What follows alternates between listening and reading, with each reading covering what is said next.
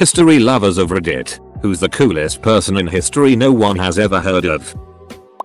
Major Digby Tatham-Warter, whose Wikipedia entry reads like the synopsis of an amazing World War II action comedy, among other noteworthy items. He carried an umbrella everywhere because he had trouble remembering passwords and reasoned that anyone who saw him would assume that only a bloody fool Englishman would carry an umbrella into battle. At one point he disabled an armored car using his umbrella. He was eventually captured but escaped and led 150 escaped POWs back across the lines to freedom.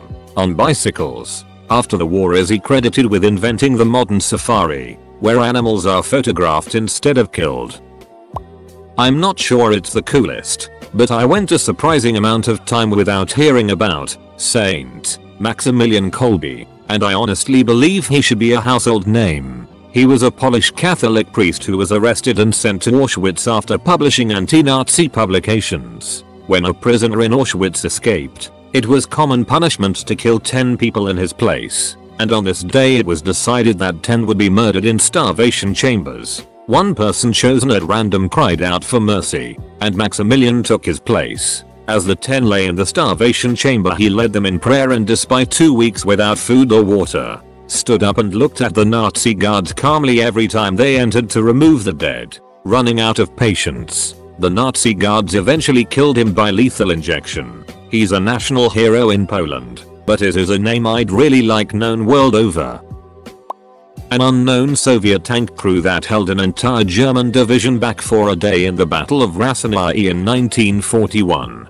From Between Giants, the battle for the Baltics in World War II. More than a KV-1 or KV-2 tank, accounts vary, advanced far behind the German lines after attacking a column of German trucks. The tank stopped on a road across soft ground and was engaged by 450mm anti-tank guns of the 6th Panzer Division Anti-Tank Battalion. The tank was hit several times but fired back, disabling all four guns. A heavy 88mm gun of the Divisional Anti-Aircraft Battalion was moved about 730 meters. 800 did, behind the tank but was knocked out by the tank before it could score a hit. During the night, German combat engineers tried to destroy the tank with satchel charges but failed despite possibly damaging the tracks. Early on the morning of the 25th of June, German tanks fired on the KV from the woodland while an 88mm gun fired at the tank from its rear. Of several shots fired, only two penetrated the tank. German infantry advanced and the KV opening machine gun fire against them and the tank was knocked out by grenades thrown into the hatches. According to some accounts, the crew was buried by the German soldiers with full military honors. In other accounts, the crew escaped during the night the nameless berserker of Stamford Bridge. He held off an entire English army alone on a small bridge, with just his big Daniegs. No arrow could bring him down. Only later did someone poke him from underneath the bridge into his balls. He instantly went to Valhalla. Read this sentence. Roman von Ungern Sternberg, was an Austrian-born Russian anti-Bolshevik lieutenant general in the Russian Civil War and then an independent warlord whose Asiatic Cavalry Division wrested control of Mongolia from the Republic of China in 1921 after its occupation. When I read his biography I had to keep fact checking because honestly, this guy's life seems utterly unbelievable. He formed his own Mongol horde in Goddam 1921. He was obviously an irredeemable asshole. But what a wild life. Not unknown but seems to be far less commonly known as Subutai, the main general under Genghis Khan and his son Ögedei, was a brilliant strategist that could coordinate armies separated by hundreds of miles. He also conquered more territory than any other military commander in history. Julie d'Orbigny, basically think Arya Stark but real, French, and a highly promiscuous bisexual. She was a singer by profession but hired a master swordsman to teach her how to fence and quickly became ridiculously good at it. She and this instructor got into a fight with some French nobleman and she challenged him to a duel. Won it. But then had to flee the gendarmerie because dueling was technically illegal by the 17th century in France. She dressed up in disguise a lot of the time, including frequently in men's clothing, and as a result was challenged several times to other duels by obnoxious French noblemen who took exception to her dress sense. She killed them all she then became a farmhouse socialite and caused a scandal by kissing a woman at a ball. Again. while wearing men's clothing and was challenged to three separate duels by yet more obnoxious French noblemen who didn't like her snagging some hot chick right in front of them. Despite the fact that she was by this time one of the most famously skilled fencers in Europe, she killed them all too, obviously. This amused the French king so much that he just pardoned her of all crimes because literally, he was so entertained by her outrageous awesomeness. During this time she had somehow managed to procure a position as a singer at the Paris Opera House, despite being technically under a sentence of death for illegally dueling multiple people until she pardoned for, as mentioned, killing yet more people, and shagged her way around the male and female members of the opera. At one point a visiting conductor was treating the women there badly, so she just rolled up her sleeves and beat the it out of him. The eventual love of her life was a French countess, but this countess died young leaving her inconsolable and she herself then died, possibly by suicide. Having done all of this by the age of 33, if I were Alexander Dumas I'd sit there and think well, I had this idea for a novel, but this is probably just a bit too unbelievable even for me. Mary Elizabeth Bowser. She was a spy in the Confederate White House, working as a servant, and leaked a bunch of stuff to the Union. Jefferson Davis knew there was a spy, but never suspected her because she was black. Edit. Typo. Mannerheim is fairly unknown outside of Finland. He was the Tsar's bodyguard and one of the first Europeans to meet Dalai Lama, escaped Russia during the revolution and came to Finland to lead the Whites in Finnish civil war later lead the Finnish army in Winter War and Continuation War, giving the Red Army a good fight and then became Finland's sixth president. The highest military award you can earn in Finland is named after him as well. Zenobia, Queen of the Palmyrene Empire. She was a warrior and well educated, fluent in several languages. After her husband was murdered, she became regent of her son. She seized control of territories in the east, conquered Egypt, and built a powerful empire. Later, she was captured after a Roman siege and executed. She is known as a heroic queen and a freedom fighter who inspired Catherine the Great.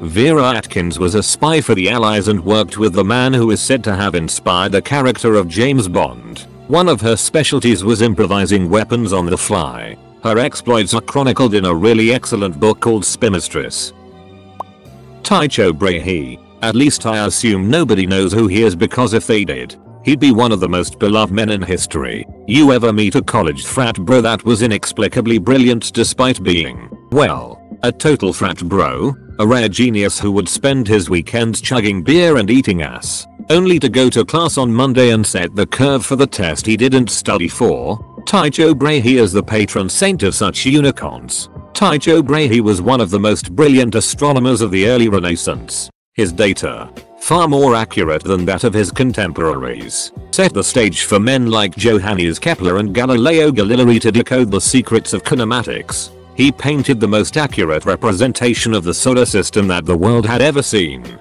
and was the giant upon whom Isaac Newton stood. Comma but he was also a total ducking party animal. He would throw huge rages and invite royalty and nobility, and bring his pet moose along and get it wasted. That's right, a full-grown ducking moose. He lost his nose in a duel and got it replaced with one made of gold just to flex on every hater in the world. He died when his bladder exploded because he was partying too hard and didn't want to leave to use the bathroom. Every time a college student shows up to their midterm hungover and crushes it anyway, the ghost of Tycho Brahe is smiling down on them. Carolus Rex or Charles XII of Sweden, single-handedly fought Russia and others leading only a small army of Swedes. Despite being outnumbered he would somehow pull out a win. Also known as a warrior king he would lead his men into battle something not as common in this time period. He was unfortunately killed in battle close to the end of the Great Northern War. Sybil Ludington. At 16 years old, she volunteered to ride over 40 miles by horseback in the middle of the night to warn the revolutionaries that the British were coming. It was originally suggested that her older brother make the trip, but she volunteered, claiming the British forces were a lot less likely to stop a young girl on the road. By the time the British troops arrived, about 400 of them, the town had been evacuated. Thanks to Sybil, she rode farther than Paul Revere, and is often referred to as the female Paul Revere. even though she gets almost no historical credit. According to Wikipedia prior to her famous ride, Sybil saved her father from capture when a royalist named Ichabod Prosser tried, with 50 other royalists, to capture her father. Sybil lit candles around the house and organized her siblings to march in front of the windows in military fashion, creating the impression of many troops guarding the house. The royalist and his men fled, so yeah dart pretty badass for a 16 year old girl in the 1700s.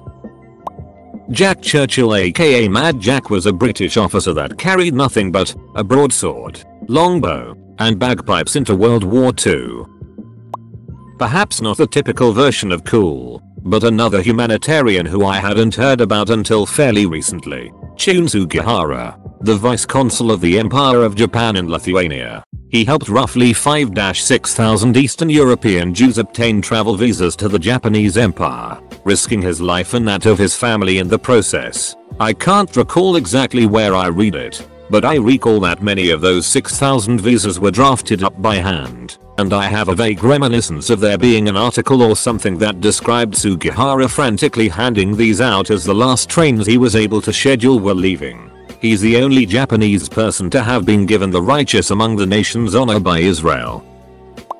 Mariano Vallejo. He was the Mexican governor of California but he saw that Mexico was too far away and too preoccupied to administer the territory. One day he gets kidnapped by a bunch of drunk white people calling themselves the Bear Flag Rebellion. They want to take him from the SF Bay Area to a fort near Sacramento which takes a few days. Vallejo's lieutenant catched up with them sneaks into camp and tells Vallejo hey boss, me and the boys are going to kill the gringos and take you back to Sonoma. Vallejo says no and intentionally remains their prisoner so he can hand the territory over. It becomes the Republic of California and then quickly joins the US as a state. He prevented a long bloody war and orchestrated the creation of the world's fifth largest economy, but he is forgotten by both sides. To the Mexicans he is at best a failure, at worst a traitor.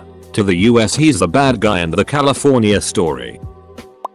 Ching Shih, probably the most successful pirate of all time. Pirate leader who terrorized the China Seas during the Jiaqing Emperor period of the Qing dynasty in the early 19th century. She commanded over 300 junks, ship, traditional Chinese sailing ships, manned by 20,000 to 40,000 pirates, 1 colon 71 summon, women, and even children. She entered into conflict with the major nations, such as the British Empire, the Portuguese Empire, the Qing dynasty. 2. Wikipedia. She died a free woman on her own bed. What a badass. Here is your new favorite hero, Witold Pilecki. He infiltrated the Auschwitz concentration camp and disguised himself as an inmate in order to produce a report on the mass murder happening. He managed to escape at night, overpowering a guard and cutting a phone line. Unfortunately he was executed on false accusations after the war. Miyamoto Musashi by far. He's was a samurai from I believe from feudal Japan. Basically this guy was every weeb fantasy. He never lost a fight and dual wielded a katana and wakizashi. After a while he was so good he thought the swords were too easy and switched to using a bokken, wooden sword, and still never lost. The dude was a badass.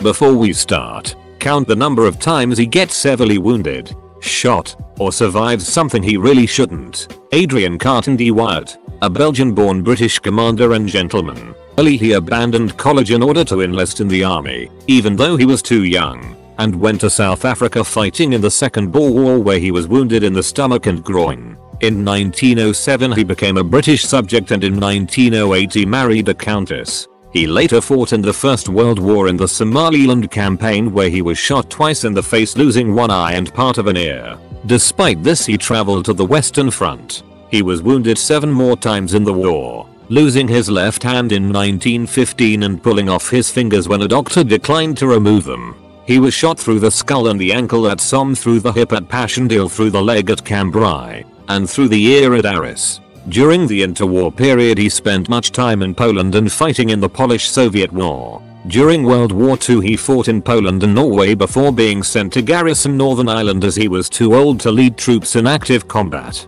In 1941 he was sent to negotiate with the Yugoslav government but his plane crashed after a refuel at Malta and he was knocked unconscious. After regaining consciousness thanks to the cold water he and the others were captured by Italians who brought him to a prison camp for senior British officers. He made 5 attempts at escaping and succeeded once. Unfortunately he was a 61 year old man with an empty sleeve, an eye patch half an ear and several other battle scars. Oh and also, he was in the middle of northern Italy with no capability to speak Italian. After 8 days he was recaptured. After being freed he attended the Cairo conference and is seen on the picture from said event together with Winston Churchill, Franklin D. Roosevelt and Chiang Kai-shek. After the war he retired. He married and settled down in Cork, Ireland. Caravaggio. He was a painter active in the late 1500s early 1600s who was either a badass or a psychopath depending how you look at it. He used to carry a sword around in case he'd get in brawls and actually killed a man over an argument stemming from a tennis match, forcing him to exile and flee to Naples. Not only that but he was petty as duck painting a horse's ass to be placed facing a painting his rival was commissioned for. Augusta Ada Countess of Lovelace, née Byron.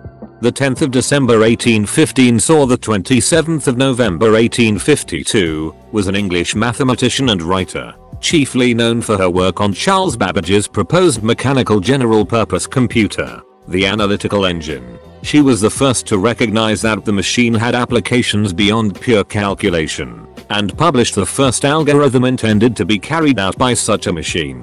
As a result, she is sometimes regarded as the first to recognize the full potential of a computing machine and one of the first computer programmers.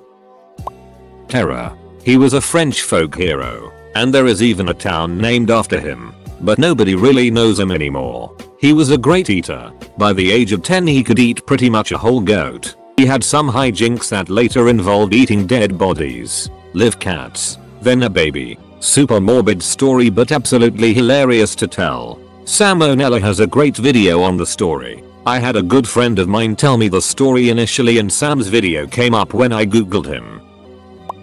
PHNGCCHNH was a Vietnamese warrior who led troops into battle against the Chinese while pregnant, went into labor on the front lines, gave birth, and kept fighting carry her newborn. Yi Sun Sin was the Korean naval commander, except he never studied naval combat or strategy. He repeatedly fought back much larger Japanese fleets using superior strategy and just general ferocious badassery. Both of these are well known in their respective cultures but you rarely hear about them in western history classes.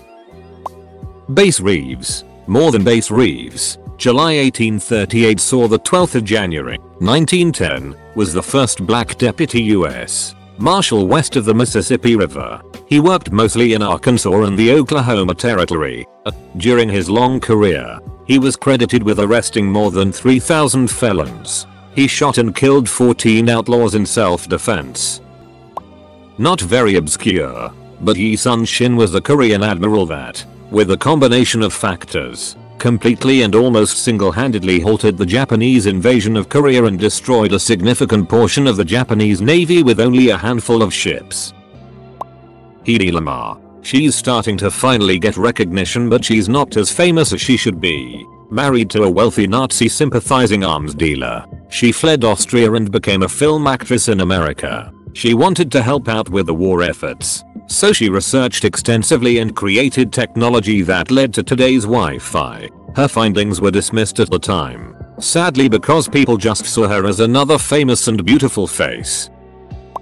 Vasil Levski, Bulgarian revolutionary during the final decades of the Ottoman Empire, used disguises to evade capture for years and created an elaborate autonomous government that angered Ottoman and Bulgarian overlords alike including a mail service and constitution. Until him, most anti-Ottoman antagonists used guerrilla warfare, but he saw the need to develop a stable government to take over after Ottoman rule. When he was captured he absolutely refused to name any of his co-conspirators and suffered greatly for it before he was finally hung outside of Sofia. He had the kind of foresight rare in anti-government antagonists.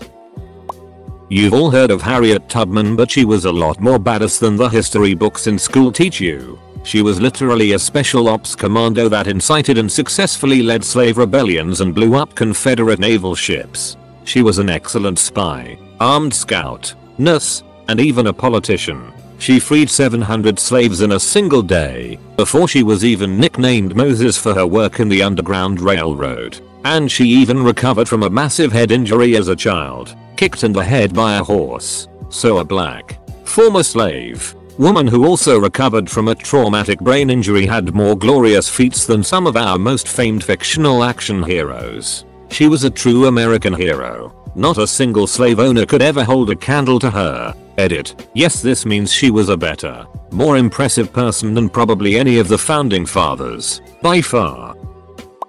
A Soviet woman, Maria Oktyabrskaya. In 1941 the Nazis killed her husband. So she sold everything they owned. Petitioned Stalin to allow her to buy a frickin' tank and join the front line. She named it Fighting Girlfriend and in her first action killed about 30 Nazis and took out an anti-tank gun by herself. Exekias. 5th century BC, we're fairly sure of that, Athenian pottery artist essentially was the first person to produce incised depictions of human characters with any level of details because his techniques allowed for smaller more intricate details. This technique was then adopted by the majority of potters and was still in at the time of the fall of Byzantium nearly 20 centuries later. Olga of Kiev murdered an entire nation of Drevlians in righteous vengeance for slaying her husband over a tax dispute by using doves. Still got to be a saint. Bertha Benz. When Carl Benz created his motorwagen in 1886, no one really cared about it until his wife took the car herself and with their two sons went on a 66 miles trip to visit her mother, thus becoming the first woman who drove a car and the first person who drove a car for more than 100 kilometers. Not only she had to solve several mechanical problems along the way, he and her sons also had to push the car occasionally when it got stuck in the muddy road and on steep inclines, make their fuel, no gas stations, and feed this fuel manually into the working engine, no fuel tank. To make the fuel, they stopped at a pharmacy in Wiesloch to buy the necessary solvents, thus making this pharmacy the world's first gas station. Full stop. Lucrezia Tornabuoni. She married into the Medici banking family and basically ran the whole show. She ran operated the family business and politics. Later, she was also the chief advisor to her son Lorenzo the Magnificent, and in my humble opinion, the most competent family member. She also sponsored Renaissance art and wrote poetry and plays. Tommy Fitzpatrick. In 1956 he stole a small plane from New Jersey for a bet and then landed it perfectly on the narrow street in front of the bar he had been drinking at in Manhattan. Two years later, he did it again after someone didn't believe he had done it the first time. Here is an article about it. Sir Isaac Brock, better known as the hero of Upper Canada, Dude didn't give a flying duck about superiors and instead of defending against the Americans during the 1812 war he went out and attacked. He took Canadian militia and dressed them in British regular red coats, who the American soldiers were very afraid of facing, and got aid from the native soldiers fighting on their side who ran around the fort's defenses and in the tree line to scare the living it out of the American defenders, who were even more scared of the savages than they were the English. He had the militia also march in the distance and did it in such a way, while they were still dressed as redcoats, to seem like an invasion army was coming to attack instead of a small army of militia. In the end nobody was killed and the Americans surrendered after a short time, I think 3 days. The rest of the dude's life is filled with ballsy military moves and feats. Considering I read about Diogenes for the first time ever in an Ask Reddit post recently, I'd say he's pretty cool for someone I never heard of pretty much anyone from the Sabaton album Heroes. Also Karl Gangl, Wehrmacht commander, surrendered his men to the US at and wound up fighting alongside them when the SS came to kill prisoners. Prince Michael of Romania, 1921 to 2017. He became king of Romania at the age of 6 following the death of his grandfather. His father Carol has previously renounced the throne. The regency didn't work out so well, so Carol reclaimed the throne when Michael was 8. Carol was deposed by the Nazis in 1940 when Michael was 18. Michael took the throne, but the government was run by a Nazi puppet, whom Michael overthrew in 1944 when the country switched sides. After the war, the monarchy was abolished by the communists, so he became an ordinary citizen. But unlike just about every other deposed monarch, he was loved by his people. Fun fact, he was a field marshal of the Romanian army. When he died in 2017, he was by several decades the last surviving flag officer of World War II. The nearest competitors died in the early 90s. Akhenaten. So get this. Ancient Egypt is known for its many gods and goddess. Ra, Isis, Osiris, Set-ekt. So this pharaoh walks in and single-handedly attempts to turn the whole religion upside down and convert everyone to only worship the sun god, Aten. He basically shut down all the other temples in Egypt and built a city named after himself. He is trying to take power back from the priesthood and consolidate it all under the pharaoh. While you've never heard of him, you've probably heard of his much more well-known wife Nefertiti and son Tutankhamun. Tokugawa Ieyasu. This man was allergic to death and had a talent for surviving where no one else would have. After a battle between his army and that of Takeda Shingen's, another cool dude to look into, Tokugawa made it back to his castle with 5 soldiers. 5. So you know what he does to repel the massive army of thousands of soldiers? They light every single torch on the wall and while pounding a massive drum, they throw open the gates of the fortress. This is such a ballsy move that Takeda thinks it's a trap and leaves. Feudal Japan was crazy. Private Wojtek. After being sold to a Polish military corps as a baby, he worked his way up to private. During World War II his great feats include catching and interrogating spies who infiltrated the company. He beat a 400 pound bear with his bare hands and he moved so much ammunition that the company changed their logo to Wojtek holding a bombshell. He both terrified and was beloved by his commanding officers. His diet consisted of mainly meat, marmalade and he would eat lit cigarettes whole. Oh. Did I forget to mention that he was also a bear? Seriously. Google him. He is the cuddliest soldier you will ever see.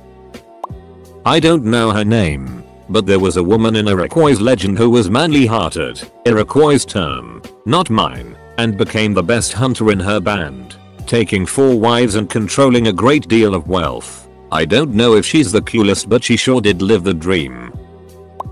Moufdi Zakaria. He's the man who wrote the Algerian national anthem while being held in French prison.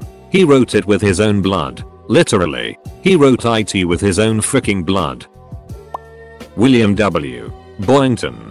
Boyington was the architect that completed the Chicago Water Tower, one of five structures surviving the Great Chicago Fire of 1871. The Chicago Water Tower, completed in 1869, is 154 feet high and made from yellowing Joliet limestone. The tower was designated the first American water landmark in 1969 and was designated a Chicago landmark in 1971. Chicago Avenue Water Tower and Pumping Station was listed on the National Register of Historic Places as Old Chicago Water Tower District in 1975. Love the answers to this. Hi everyone. This is the first time a post on Ask Reddit that I made got some interesting activity. D. There are plenty of them. One of my favorite doesn't actually involve a person but a bear. Wojtek was a Syrian brown bear bought as a pet. His owner was part of a Polish artillery section and they eventually trained the bear to help haul ammunition from the depot to the guns. It's a cool story. Bear.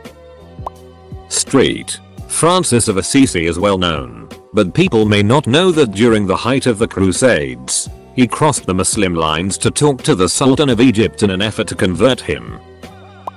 Boudica, more than in AD 60 or 61, when the Roman governor Gaius Suetonius Paulinus was campaigning on the island of Anglesey off the northwest coast of Wales. Boudica led the Iceni, the Trinovantes, and others in revolt. 6. They destroyed Camulodunum, modern Colchester, earlier the capital of the Trinovantes but at that time a colonia, a settlement for discharged Roman soldiers and site of a temple to the former Emperor Claudius. Upon hearing of the revolt, Suetonius hurried to Londinium, modern London, the 20 year old commercial settlement that was the rebels' next target.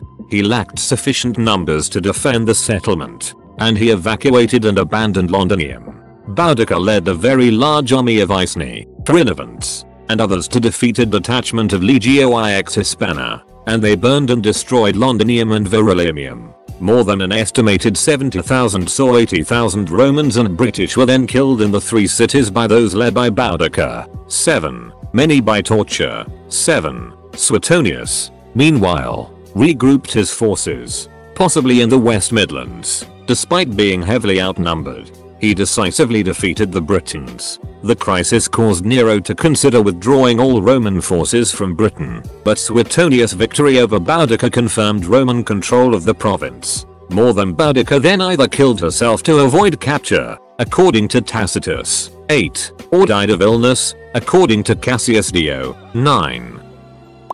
Mehran Karimi Nasseri is an Iranian refugee who lived in the departure lounge of Terminal 1 in Charles de Gaulle Airport from the 26th of August 1988 until July 2006, when he was hospitalized for an unspecified ailment. Basically, a dude spent about 18 years at an airport. His story was an inspiration to create a film called The Terminal. You can read about his story on Wikipedia. This is a beautiful film really worth watching. I watched it twice already. If you don't believe me, then maybe this will convince you. It's a Steven Spielberg film. Comma sorry for my spelling.